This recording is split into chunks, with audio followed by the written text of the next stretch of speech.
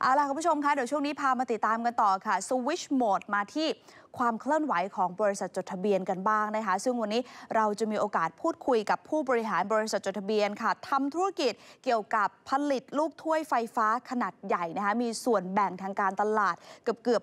50%แน่นอนว่าก็จะเติบโตไปพร้อม ๆ กับเรื่องของการก่อสร้างการพัฒนาโครงสร้างพื้นฐานของประเทศนะคะ นั่นก็คือบริษัท Asian Insulator จำกัดมหาชนหรือ AI นั่นเอง เดี๋ยววันนี้มาพูดคุยกับผู้บริหารการผ่านช่วงเงินงอกเงยค่ะ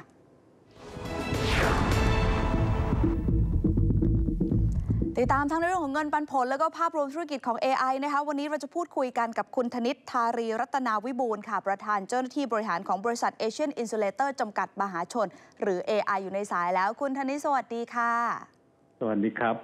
คำถามแรกเลยมีนักลงทุนหลายท่านนะคะ ถามเข้ามาว่าเอ๊ะได้ข่าวว่า AI เนี่ยเป็นหุ้นที่ให้ปันผลดีมาก ๆ เลยนโยบายการจ่ายปันผลของบริษัทเป็นยังไงบ้างคะ ครับนโยบายของบริษัทจะปันผลอ่า ไม่เกินสี่ห้าไม่น้อยกว่า 40%ครับของกำไรสุทธิในแต่ละปีครับอืมซึ่งการเติบโตในปีนี้และปีหน้าทางทางคุณธนิตมองยังไงบ้างคะสำหรับธุรกิจของ AI เอ่อในปีนี้นะครับ เราจะเติบโตจากปีที่แล้วประมาณสัก 20%นะครับเอ่อเอ่อในส่วนในปีหน้าเนี่ยนะครับก็โครงการต่างๆ ก็จะเริ่มเข้าถึงจุด พีคของของของการสป라이ลูกทั่วไฟฟ้านะครับ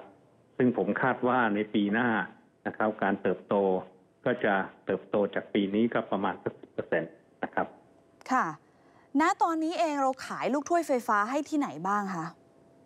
เราจำหน่ายให้กับการไฟฟ้าส่วนภูมิภาคการไฟฟ้านครหลวง และก็การไฟฟ้าฝ่ายผลิตนะครับ ประมาณสัก 80%ของของกำลังการผลิตเราอะนะครับอืม แล้วก็10%ก็จะจำหน่ายให้กับเอ่อผู้รับเหมานะครับ ที่เป็นงานเทิร์นคีนะครับค่ะแล้วก็10%ประมาณประมาณ10%ที่เหลือก็จะส่งออกนะครับ ส่งออกก็จะเป็น indirect ก็คือจะมีผู้รับเหมานะครับ ไปสร้างสายส่งไฟฟ้าแรงสูงอะไรในประเทศเพื่อนบ้านนะครับ แล้วก็มาซื้อลูกถ้วยของเราแล้วนำออกไปเองครับ ค่ะ แนวโน้มการเติบโตหรือความต้องการใช้ลูกถ้วยไฟฟ้านี่ ถ้ามองจากปัจจุบันไปถึงอนาคตนี่ยังคงมีมีโกรธอีกมากน้อยแค่ไหนคะคุณอนิตาเอ่อธุรกิจลูกถ้วยไฟฟ้าจะโตประมาณปีละหกถึงแปดเปอร์เซ็นทุกปีนะครับอืมจะอยู่ในอัตรานี้มามามาสม่ำเสมอนะครับ จะมีบางช่วงเท่านั้นช่วงประมาณสักสิบปีอาจจะมีครั้งหนึ่งซึ่งจะอาจจะโตมาก อ่าถึงสิบห้าเปอร์เซ็นได้ครับ ค่ะ แล้วแล้วเพราะอะไรทำไมถึงทำให้เราสามารถโตได้มากกว่าค่าเฉลี่ยของการเติบโตทั้งหมดอะคะเอ่อจะมีโครงการของภาครัฐนะนะครับ ที่เกี่ยวกับโครงการ EEC อะนะครับ ซึ่งตอนนี้ก็เริ่มเดินหน้าอยู่นะครับ ทางการไฟฟ้าก็ต้องขยายเขตไฟฟ้านะครับ ไปในในในส่วนนั้นดังนั้นดีมานของลูกถ้วยไฟฟ้าก็จะเพิ่มขึ้นนะครับแสดงว่าภาพรวมเศรษฐกิจที่หลายคนกังวลว่าเอ๊ะเศรษฐกิจจะชะลอปีนี้ปีหน้าไม่กระทบกับธุรกิจของเราถูกไหมคะเอิ่ม ส่วนมากจะไม่ค่อยกระทบนะครับ เพราะว่าของเราจะเป็นส่วนหนึ่งของ infrastructure ครับอืมซึ่งก็เกาะไปกับ plan ของรัฐบาลอยู่แล้วใช่ไหมคะครับอืมแนวโน้มต่างประเทศล่ะคะ มองไว้ยังไงเราจะเพิ่มสัดส่วนการขายไปในต่างประเทศไหมคะ หรือว่าจะยังคงปักหลักที่ที่โปรเจกต์ต่างๆ ของภาครัฐ ก็คงปักหลักอยู่ภายในประเทศเป็นหลักนะครับ ส่วนต่างประเทศก็จะเป็นส่วนเสริมเข้ามาต่างหากมากกว่านะครับ เพราะว่าต่างประเทศความ ความไม่แน่นอนยังมีอีกเยอะนะครับ ในการลงทุนของของภาครัฐในต่างประเทศอะนะครับอืมเรื่องนโยบายการจ่ายปันผลก็ปักธงที่เท่านี้เลยใช่ไหมคะไม่น้อยกว่า 40%ของกำไรเอ่อปันผลเราจริงๆแล้วเนี่ยนโยบายก็คือไม่น้อยกว่า 40%นะครับ แต่ที่ผ่านมาในอดีต 10 กว่าปีที่ผ่านมาเนี่ย เราปันถึงระดับ 80-90%ของกำไรสุทธิของแต่ละปีอยู่แล้วครับ อืม อยากฝากอะไรถึงนักลงทุนที่ติดตามความเคลื่อนไหวของ AI บ้างคะ ปีนี้ปีหน้าเราจะเห็นอะไรเพิ่มเติมเอาปีหน้าเลยดีกว่าคุณธนิตคะ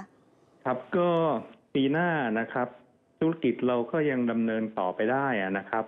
แล้วก็จะมีอัตราการเจริญเติบโตอยู่ที่ประมาณสักเปอร์เซ็นต์เมื่อเทียบกับปีปีนี้อะนะครับเอ่อณปัจจุบันนี้นะครับ backlog นะครับ เราก็ fill up กำลังการผลิตเราไปเกิน 50%แล้วครับอืม ก็คือที่จะรับรู้รายได้ในปีหน้า ตอนนี้มี backlog แล้ว 50%ถูกไหมคะ ครับห้าสิบเปอร์เซ็นของอา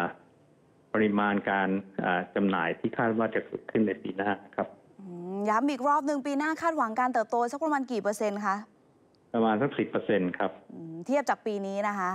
ครับ โอเคได้ค่ะคุณธนิตวันนี้ขอบพระคุณมากที่ให้เกียรติมาร่วมพูดคุยกับเราในรายการนะคะ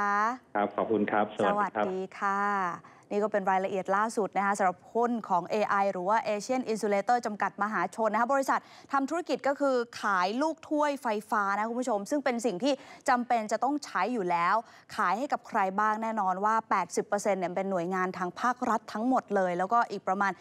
ที่เหลือเนี่ยก็คือขายในต่างประเทศนะคะจะโตไปพร้อม ๆ กับการพัฒนาโครงสร้างพื้นฐานประเทศ โดยเฉพาะอย่างยิ่งโซน EEC หรือว่าเขตเศรษฐกิจพิเศษภาคตะวันออก แล้วก็จุดเด่นของ AI นะคะนอกเหนือจากการรักษาการเติบโตที่ต่อเนื่องแล้วเนี่ยปีหน้าก็ยังคงมองว่าน่าจะเติบโตได้สักประมาณ 10%แล้วก็ตอนนี้มีแบ็กหลอกแล้วนะคะประมาณ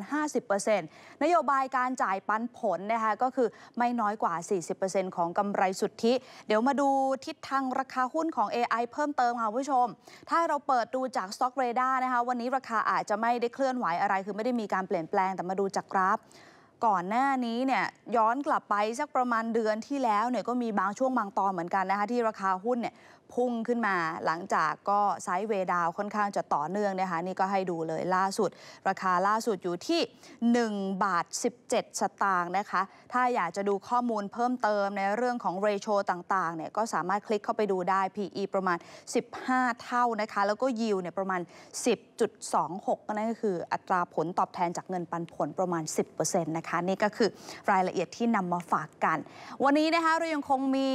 ของรางวัลมาแจกนะคะสำหรับใครที่เป็นแฟนประจำของรายการเปิดจอรอเทรดค่ะ รายละเอียดนะคะ ตอนนี้เราเปิดรับคำตอบ 2 ช่องทางค่ะคุณผู้ชม นั่นก็คือทาง Line แอดของ Money Chat นะคะ แล้วก็อีกหนึ่งช่องทาง ท่านไหนที่ดูเราผ่าน Facebook Live นะคะ ก็สามารถพิมพ์คอมเมนต์คำตอบเข้ามาใต้